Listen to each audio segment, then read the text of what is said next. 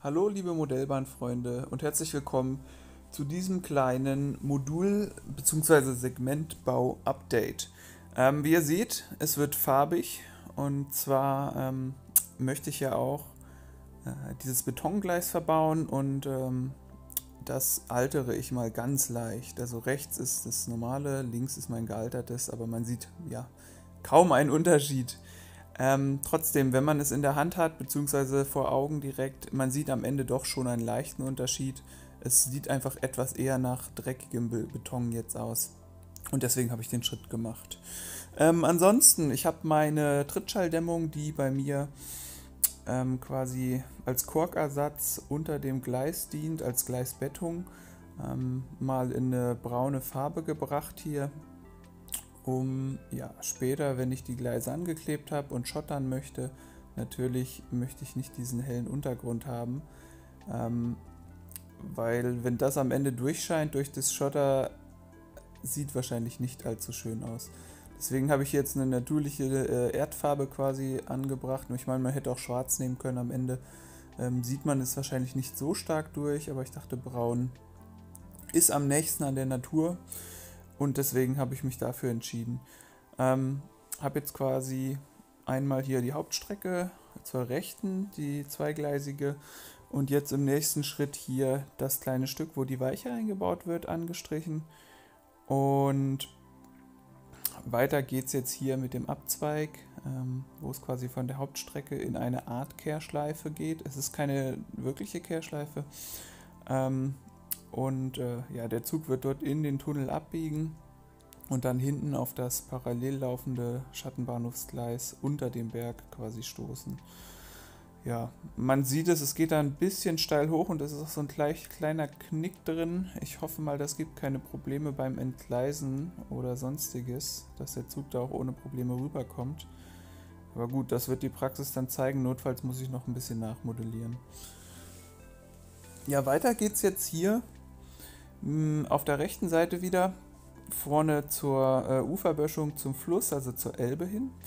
Und zwar habe ich dort ja auch schon vor längerem diese 2 cm starken Styrodurplatten mit erst mit einem Messer und dann mit äh, grobem Schleifpapier in Form gebracht und quasi vorne die Böschung hin abfallend gemacht, sodass wirklich die Holzplatte ganz vorne an der Kante sichtbar ist und dort werde ich dann versuchen, einen Wassereffekt darzustellen. Und ähm, ja, man sieht dort auch die leichte Vertiefung, die jetzt gerade von den Büchern verdeckt wird. Ähm, das ist der Bach, der dann später in die Elbe reinfließt. Und äh, ja, ich bringe die einzelnen Teile jetzt mal hier mal fest an, damit ich entsprechend darauf aufbauen kann. Und hier jetzt die nächste Schicht, weil es läuft natürlich nach hinten, nach oben zu weil ich baue ja schließlich ein Tal und entsprechend geht es, je weiter man vom Fluss wegkommt, äh, immer den Berg hoch.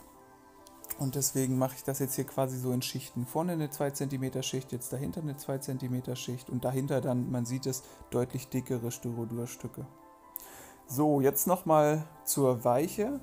Ähm, ich hatte in meinem letzten Segmentabbau, äh, Segment-Update Teil 8 äh, einiges an Löterfahrung gesammelt, hatte allerdings noch kein Lötfett. Jetzt habt ihr gerade gesehen, wie ich hier das Ganze vorher mit Lötfett einschmiere. Ähm, Habe ich mir jetzt besorgt und äh, es funktioniert schon besser.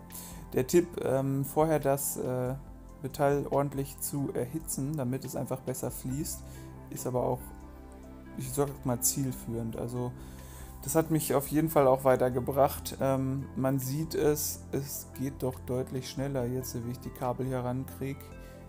Aber gut, das sind natürlich auch nur die Kabel. Ähm, ich habe hier diese Y-Weiche und äh, zwar habe ich die genommen, weil ja in der Kurve quasi der Abzweig erfolgt. Ähm, die hat natürlich einen festen Winkel, aber trotzdem ist die noch das, was am besten quasi passt für meine, für meine Gleisführung.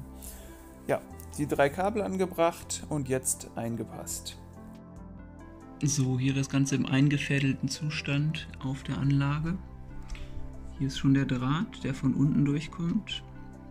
Und dann hier entsprechend das rote für positiv, hier drüben das braune und hier hinten das gelbe Kabel, was das Herzstück schaltet am Ende.